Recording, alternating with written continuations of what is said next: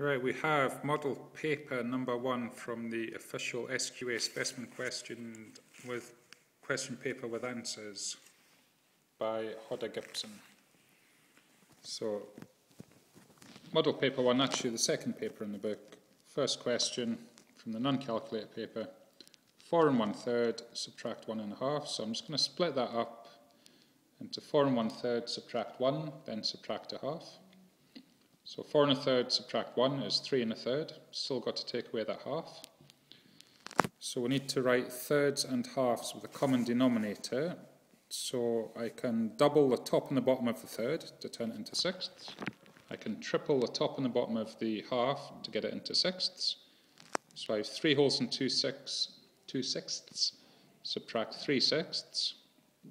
If I take 2 sixths off, I'll get 3 wholes. Still got one more sixth to take off, so that'll be two wholes and five sixths. On to the second question. Multiplying out brackets. So we can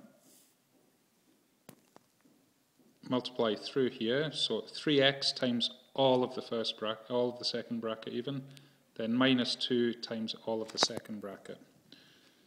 So 3x times 2x squared is 3 2s are 6, x times x squared, x cubed. 3x times x, well x times x is x squared, so 3x times x is 3x squared. 3x times 5, 3 5s are 15, so 3x times 5 is 15x. I've got minus 2 times 2x squared, it's minus 4x squared. Minus 2 times x, minus 2x, and minus 2 times 5, minus 10. So we then need to tidy that up. So I have 6x cubed. I have 3x squared minus 4x squared. That's minus 1x squared. 15x subtract 2x, 13x. And just minus 10 on the end. Question number three. Rearrange to make m the subject of the formula. So what I'm going to do first is multiply both sides by k. Or if you like to think of it as cross multiplying, bring the k from the bottom on this side of the on the right hand side of the equal sign up to the top on the left hand side of the equal sign. So we get just multiplying both sides by k, lk equals root m. Now we want m, not root m, so we need to square both sides here. So I square the left-hand side, I get LK all squared. And on the right-hand side, if I square a square root, that just basically disappears. That's why I'm choosing to square, just so I get m on its own. And then as LK all squared equals m, m will just be LK times LK, which is L squared k squared. On to number four. We have a vector question. So from A to B is vector u. So from B to C and F to E and E to D will also be vector U. A to F is vector V. So B to E and C to D will also be vector V. So first question is write down AD in terms of U and V. So to get from A to D, I go A to B, B to C, then C to D. So that'll be U plus U plus V, or 2U plus V. Then C to E for part 2 here. So to get from C to E, I could go C to D and D to E. I could also have went C to B and B to E. So C to D is V. Then D back to E is not U, it will be negative U because we're going in the opposite direction. So it'll be V minus U. Question number five. As you will know, because you should have the, the book here, there was a big circle in this picture as well, so we're using the fact that OP, OS and SQ are all radii or radiuses of the circle. So the question says, find the angle QSR, QRS, sorry, which I've marked on the diagram there. So it would also be the same as PRS or ORS, basically the, the angle at R. There it is. A couple different ways of doing it. This is the way that I've chosen. First step, I'm going to use the fact that O to P and O to S are both the radii of the circle, which makes triangle O to P to S isosceles. So PSO will be 28 degrees. I also know that O to S to R will be a right angle, as RS is a tangent of the circle. So it says 90 degrees there. It looks a bit like 40, but it should be 90. So angle PSR, that'll be the 90, add the 28, that'll be 118. Now I want QRS or PRS. Well, I know at the top left at P there, that's 28 degrees. I know the big angle at S, all of that angle is 118. So the angle at P, add the large angle at S, add the angle at R, that'll make 180 degrees. So I'm just looking at the large triangle here, PRS. So we're looking at 180 minus 118 minus 28, and that turns out to be 34 degrees. So again, quick recap of that. I'm looking at the large triangle. So I've got P to R to S and back up. So I'm just looking at 180 degrees there. So I've got 28, 118 down here. So that last one will be 34. Number six, wee bit of algebra. It says simplify this. Write this in its simplest form. So at the moment, nothing cancels. We need to be, questions like this, we always look to factorize. So the top has a common factor of 3y. 3 goes into 3 and 6. y goes into y squared and y. So 3y times y minus 2 gives 3y squared minus 6y. And on the bottom, it will be a double bracket question. Two numbers multiply together to make negative 6, add together to make plus 1, because we have plus 1y. So that'll be y plus 3, y minus 2. So in a question like this, you're almost guaranteed that a term on the top will cancel with a term on the bottom once you have factorized. And indeed it does here, so we can cancel out the y minus 2's, and we just have 3y over y plus 3. On to number 7. 9 to the 3 over 2. Top of the fraction there tells us to cube it. The bottom number tells us which root to take, so we're taking the square root of 9 cubed. Now I could do 9 cubed, 9 times 9 times 9 is 729, then square root 729, which is 27. It's far too much work though. Square root, the square root 9 first, we'll get 3, then cube 3, 3 times 3 times 3, 27.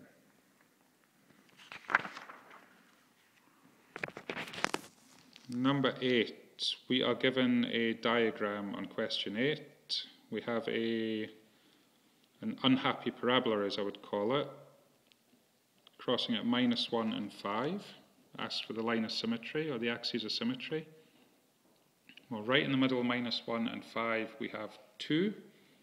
So the axis of symmetry will go through the x coordinate of two, and it is a vertical line, so we'll just call it x equals two.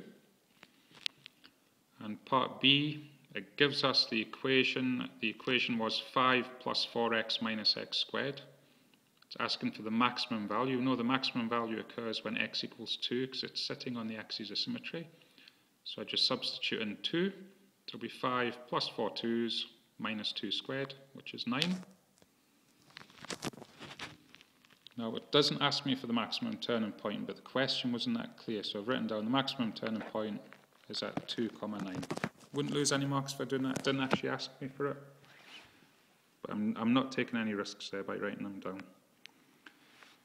Question number 9 gives us a graph with two straight lines on it, asks us to find the point of intersection, gives us the equation of each line. It says solve it algebraically. It's basically a simultaneous equations question. Solve that graphically if we've got the axes on the graph, or we can solve using algebra. So here, I'm just going to rearrange uh, equation number one. I'm going to bring that 2x across. I'm going to subtract 2x from both sides. So it becomes y minus 2x equals negative 3.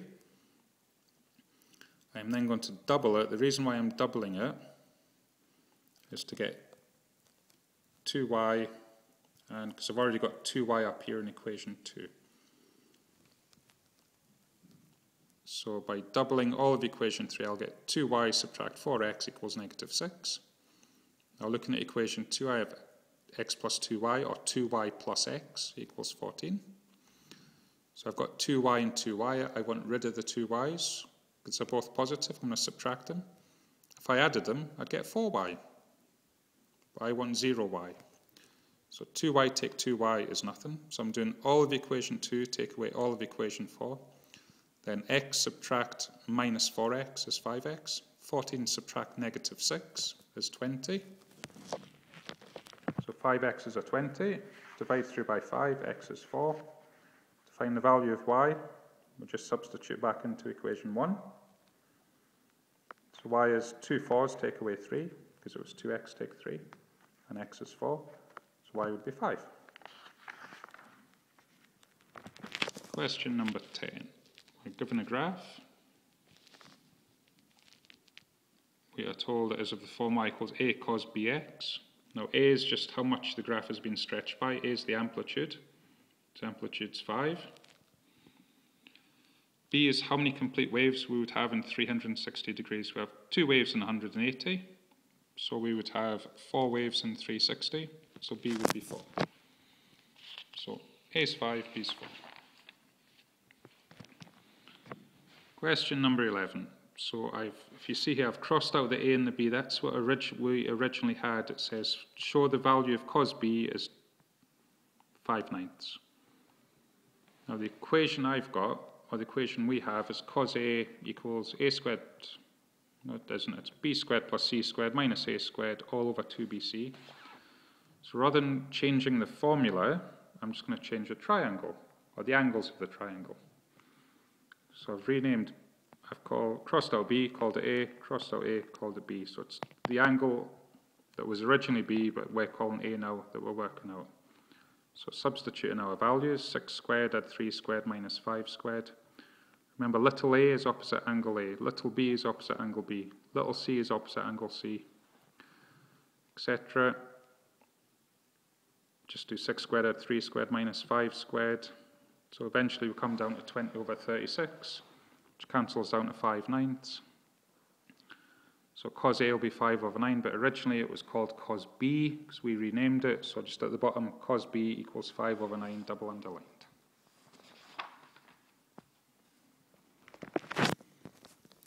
Question 12 was the area of a rectangle length was 2 root 3 centimetres, breadth was root 6 centimetres. So area is length times breadth, 2 root 3 times root 6. So root 3 times root 6 is the root of 3 times 6, which is root 18. And as it was 2 root 3, that would be 2 root 18. Now, every time we get a surd in an exam paper, we can almost always simplify it. So here we're looking for a square number that goes into 18. So root 18 is root 9 root 2. The reason why we pick root 9, we know the square root of 9 is 3. So we've got 2 times 3 times root 2, which is 6 root 2 centimetres squared. And number 13, a algebraic fraction question. When we're adding fractions, we need a common denominator. So I'm going to multiply the left-hand fraction there by m plus 1 over m plus 1. So I'm really just timesing by 1 there, because anything divided by itself is 1. So I'm not I'm not changing the fraction as such, I'm just writing an, an equivalent fraction, just like 1 half is 2 quarters, or 3 sixths, or 4 eighths. And the right hand fraction I'm going to multiply by m over m. So now we have a common denominator. And on the, for the numerators, we have 3 lots of m plus 1, plus 4 lots of m.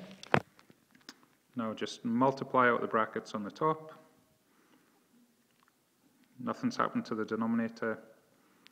Collect together terms, 7m plus 3 over m, m plus 1. Okay, and that is paper 1 finished, I think. No, it's not. One more question. Uh, so we're given an equation, it was 2x squared add 8x plus 5 equals 0. Says show the roots are real and irrational. So the real bit's easy to do. b squared minus 4ac substitute in the values of a, b, and c, comes to be 24. So b squared minus 4ac is greater than 0, so the roots are going to be real. Right, because this 24 is not a perfect square, that means the roots are going to be irrational as well. So I'll make the statement first. So b squared minus 4ac is greater than 0 and not a perfect square, hence roots are real and irrational. Why are they irrational? So going back to our quadratic formula, our minus b plus or minus the square root of b squared minus 4ac all over 2a, or b squared minus 4ac, but here we've got the square root of 24. So when we're getting the pro, if we actually worked out the roots, we'd have the square root of 24. The square root of 24 is an irrational number because it's not, an, it's not going to be a nice number like the square root of 25 is 5 or the square root of 16 is 4. So it's irrational. There's always going to be a surd attached to this, a square root attached to it. So that makes it irrational. So that's why if we don't have a perfect square, the roots are going to be irrational.